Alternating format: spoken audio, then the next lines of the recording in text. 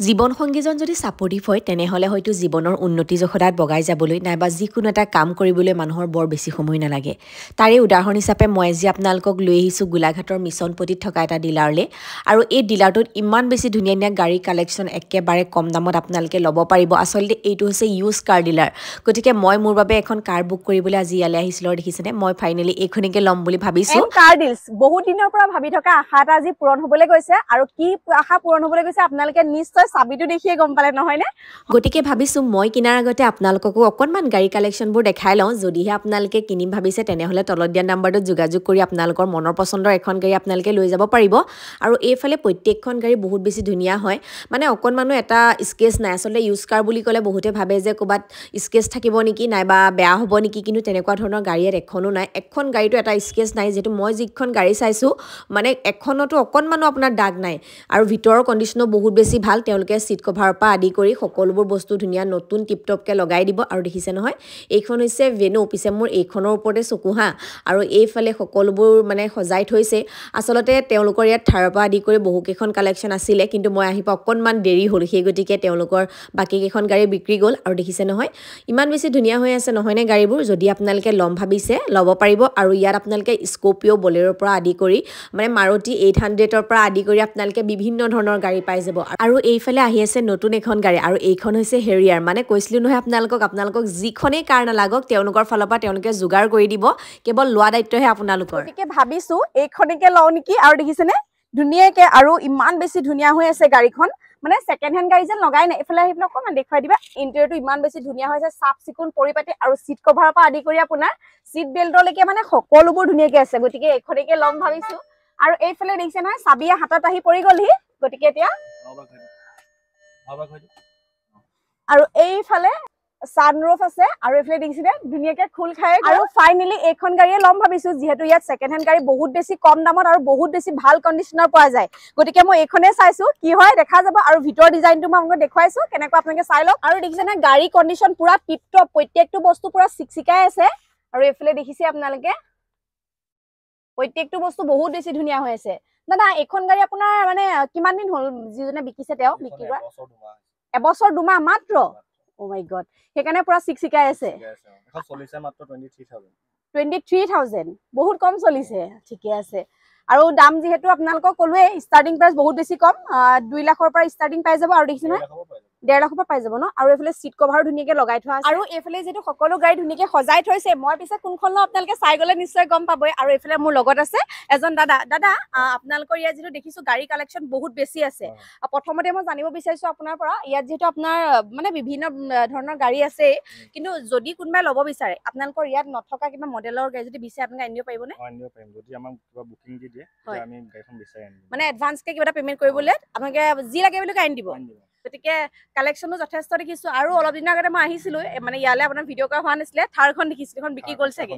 বিক্ৰী গ'ল ঠিকে আছে বাকী আপোনালোকৰ মানে চবতকে কম দাম কিমানৰ পৰা গাড়ীবোৰ? আমাৰ ইয়াত ষ্টাৰ্টিং ডেৰ লাখৰ পৰা হয়। ষ্টাৰ্টিং প্ৰাইচ মাত্ৰ ডেৰ লাখ। আপোনালোকে ডেৰ লাখ টকা দিয়ক আৰু এখন ধুনীয়া গাড়ী আপোনালোকে মনৰ পচন্দৰ বাছি নিয়ক।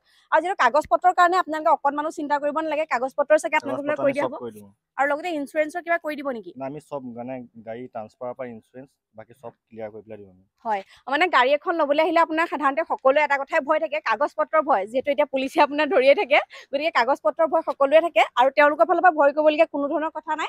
আপোনালোকৰ ট্ৰেন্সফাৰৰ যিটো প্ৰচেছ হয় ছেকেণ্ড হেণ্ড গাড়ী এখন কিনিলে সেইটো সম্পূৰ্ণ ডিলাৰৰ ফালৰ পৰা কৰি দিয়া হ'ব। আৰু এই ডিলাৰটোৰ নাম হৈছে এন কাৰ ডিলছ ইয়াত আপোনালোকে কাৰ মানে কিনিবও পাৰিব আৰু যদি আপোনালোকৰ পুৰণা কাৰখন ইয়াত দিও ভাবে আপোনালোকে দি পিনি এক্সচেঞ্জ কৰি নতুন এখন কাৰ ইয়াৰ পৰা লৈ যাব পাৰিব। আৰু গতিকে আপোনালোকৰ হাই ৰেঞ্জ কিমানলৈকে থাকিব ইয়াত? হাই ৰেঞ্জ আপোনাৰ ফৰ্টিন লাখ ফৰ্টিন লাক্স এতিয়া বৰ্তমান আপোনালোকৰ ইয়াত যিমানবোৰ গাড়ী আছে নে অকণমান কৈ দিবচোন কি কি ষ্টক বৰ্তমান এভেইলেবল আছে? আছে গাড়ী আপোনাৰ এখন চুইফ্ট ডিজায়াৰ আছে। এইখন? এখন জেড এক্স আই প্লাছ একদম টপ মডেল হয় এখন। আৰু এইখন কি গাড়ী হয়? এখন ব্ৰেজা ব্ৰিজা। উম। আৰু এইবোৰ ষ্টাৰ্টিং কেনেকে? ষ্টাৰ্টিং আপোনাৰ এখন ছেভেন লাখৰ পৰা আহিব। ছেভেন হ'ব অঁ মানে হেৰি আৰু যদি ধৰি লওক কিছুমানেতো ডাইৰেক্ট কেছ দি দিবলৈ দিগদাৰ হয় যদি আপোনাৰ ই এম আই চিষ্টেম কৰিম ভাবে পাৰিব নেকি পাৰিব ন? মানে সেইটো ফেচিলিটিও আছে। মানে যদিহে আপোনালোকৰ পইচা পাতি দিগদাৰ হৈ আছে যদি আপোনালোকে ভাবিছে ইমান টকা কেছ দি নিব নোৱাৰো তেনেহ'লে চিন্তা কৰিবলগীয়া কোনো কথা নাই। তেওঁলোকৰ ইয়াত আপোনালোকে এডভান্স মানে কিবা এটা পে'মেণ্ট কৰি বাকীটো ই এম আই কৰিম ভাবিলেও কৰিব পাৰিব সেইটো ফেচিলিটি মানে তেওঁলোকৰ ইয়াত আছে। আৰু এইফালে আৰু এখন গাড়ী দেখিছোঁ এইখনৰ নামটো কি হয়? চুইফ্ট ডিজায়াৰ আৰু এইখন দাদা কিমান কিমান চনৰ মডেল হয় এইটো? Two thousand twenty one twenty one আৰু অ, বহুত দিনৰ গাড়ী নহয় মানে এবছৰ দুবছৰ। কি মানে প্ৰত্যেকখন গাড়ী তেনেকুৱাই নেকি?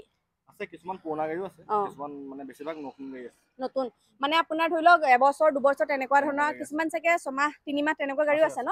হয় গতিকে আপোনালোকে যদি গাড়ী ল'ম ভাবিছে ধুনীয়াকে আপোনালোকে এন কাৰ ডিলছৰ লগত যোগাযোগ কৰক যিহেতু কণ্টেক্ট নাম্বাৰ ডেছক্ৰিপশ্যনত দিয়া থাকিব আৰু এইফালে দেখিছেনে ইয়াত তেনেকে ধুনীয়াকে লগাই থৈছে। দেৰগাঁও ৰোড আৰু এইফালে কণ্টেক্ট নাম্বাৰো দিয়া আছে use car sell purchase and exchange গতিকে আৰু যদিহে আপোনালোকে বলেৰ' স্কপিঅ'ৰ নিচিনা গাড়ী ল'ম ভাবি আছে অকণমান পইচা পাতি দিগদাৰ হৈ আছে তেনেহ'লে আপোনালোকে ছেকেণ্ড হেণ্ড ডিলাৰলৈ আহি ইয়াৰে এখন ধুনীয়াকে উঠাই লৈ যাব পাৰে। কণ্ডিশ্যন পুৰা টিপ টপ আৰু দেখিছে নহয় এইখন আহ, মই ইমান বেছি খুলি খুলি নেদেখা বুলি ভাবিছিলো কিন্তু খুলি দেখাই দিছো। মানে বহুত বেছি ধুনীয়া হৈ আছে ভিতৰতো চিট কভাৰ পৰা আদি কৰি সকলোবোৰ ধুনীয়াকে টিপটপ হৈ আছে। আৰু এইখন হৈছে আপোনাৰ স্কপিঅ আৰু এইফালে এইখন হৈছে বলেৰ' এখন দাদা বলেৰ' হয় ন? আৰু এইবোৰ প্ৰাইচ কেনেকে? হয় আৰু এইফালে দেখিছে নহয় ধুনীয়াকে আপোনাৰ মানে কণ্ডিশ্যন পুৰা টিপটপ প্ৰত্যেকটো বস্তু বহুত বেছি ধুনীয়া হৈ আছে আৰু গাড়ীবোৰ তেওঁলোকে বহুত বেছি চাফ চিকুণকে ৰাখিছে আচলতে। ছেকেণ্ড হেণ্ড গাড়ী নে আপোনাৰ ডিলাৰ পৰা উলিয়াই অনা গাড়ী? ঘপককে চালে আপোনালোকে ধৰিবই নোৱাৰে। আৰু এইফালে আৰু এখন আছে বলেৰ' এইফালে এইখনো হৈছে বলেৰ' গতিকে মই ভিডিঅ' কৰি থাকোঁতে নতুন এখন গাড়ী আহি ডিলাৰত সোমাইছেহি আৰু এইখন হৈছে আপোনাৰ হেৰিয়াৰ দেখিছে নহয়? মানে ভিডিঅ'টো কৰি আছিলোঁ তেনেকুৱাতে নতুনকৈ গাড়ীখন ডিলাৰত সোমাইছেহি। গতিকে হ'লেও ক্লিপ এটা লৈ আপোনালোকক হেৰিয়াৰখনো দেখাই দিওঁ। যদিহে আপোনালোকে হেৰিয়াৰ ল'ম ভাবি আছে তেনেহ'লে তলত দিয়া কণ্টেক্ট নাম্বাৰত আপোনালোকে যোগাযোগ কৰক আৰু লগালগ লৈ যাওক আপোনালোকৰ মনৰ পচন্দৰ গাড়ীখন একেবাৰে কম দামত। দাদা আপোনালোকৰ গাড়ী কালেকশ্যন মই চালো। যথেষ্ট ধুনীয়া মানে টিপটপ কণ্ডিশ্যনৰ গাড়ী। বাকী আপোনালোক এয়া হৈছে দাদা বৌ। তেওঁলোক দুজনে আচলতে মিলি মানে হাজবেণ্ড ৱাইফ হয়। তেওঁলোক দুজনে হয় ডিলাৰটো নামকেইটা কৈ দিব? হয় মোৰ নাম অভিনন্দন নাথ। মোৰ নাম ভূপালী গগৈ। ভূপালী গগৈ। দাদা আপোনালোকৰ ফেচিলিটি অকণমান কৈ দিবচোন। ফেচিলিটি প্ৰায় কাষ্টমাৰক আমি গাড়ী একদম টিপটপ কণ্ডিশ্যনে বিকোঁ। প্ৰায় গাড়ীত একো কাম থকাকৈ নথওঁ। ইভেন মানে ৱাইপাৰৰ চেম্পুলৈকে ভৰাই দিওঁ। ঠিক আছে? নেক্সট আপোনাৰ ট্ৰান্সফাৰো ফ্ৰীকৈ কৰি দিওঁ। সেইটো কাষ্টমাৰৰ পৰা একো ইনক্লুড নকৰোঁ। আৰু ফাইনেন্স হ'লেও যিমান পাৰোঁ ৰেট অফ ইণ্টাৰেষ্ট আপোনাৰ আমি ছেভেন পইণ্ট ফাইভ ছেভেন এনেকৈ উলিয়াই দিওঁ। আৰু মানে আপোনাৰ আৰম্ভ কৰা কিমান দিন হৈছে? আৰম্ভ আগৰ পৰাই মই ফাৰ্ষ্ট যেতিয়া আৰম্ভ কৰিছিলোঁ লাষ্ট ইয়েৰ মোৰ ঘৰৰ পৰাই বিকি আছিলোঁ। তাৰপিছত মই অকণমান আগলৈ আগত খুলিছিলোঁ চাৰ্চৰ ফ্ৰণ্টত অক্টোবৰত। ইয়াত মই ফেব্ৰুৱাৰী পাঁচ তাৰিখে সোমাইছোঁ। ফেব্ৰুৱাৰী পাঁচ। তাৰিখে। দেখিছো আপোনালোকৰ মানে ফটো কিছুমান আপোনালোকে ফ্ৰেম কৰি ৰাখিছে। এইবোৰ ন? এইবোৰ আচলতে আপোনালোকৰ ইয়াৰ পৰা যিসকলে গাড়ী নিছে তেওঁলোকৰ কালেকশ্যন চাগে ন? এই মই আপোনালোকক সকলোবোৰ দেখুৱালোৱে ভিডিঅ'টো আজি বহুত বেছি দীঘলীয়াও নকৰোঁ। যিসকলে গাড়ী ল'ম ভাবিছে নাইবা যদিহে আপোনালোকে আপোনালোকৰ পুৰণা গাড়ীখন এক্সচেঞ্জ কৰি এখন নতুন মডেলৰ ধুনীয়া দামী গাড়ী ল'ম ভাবিছে তেনেহ'লে আপোনালোকে তলত দিয়া নাম্বাৰটোৰ লগত যোগাযোগ কৰক আৰু আপোনালোকৰ মনৰ পচন্দৰ গাড়ীখন আপোনালোকে এন কাৰ ডিলছৰ পৰা বাছি লওক। আৰু ডেছক্ৰিপশ্যনত আপোনাৰ এড্ৰেছৰ লগতে কণ্টেক্ট নাম্বাৰ সকলোবোৰ দিয়া থাকিব। আপোনালোকে দাদাহঁতৰ লগত সকলো কথা ধুনীয়াকৈ আলোচনা কৰি ল'ব পাৰিব।